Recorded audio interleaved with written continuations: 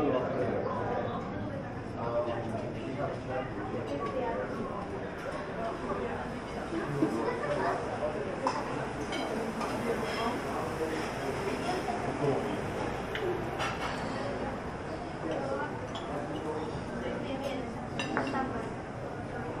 morning. How are you?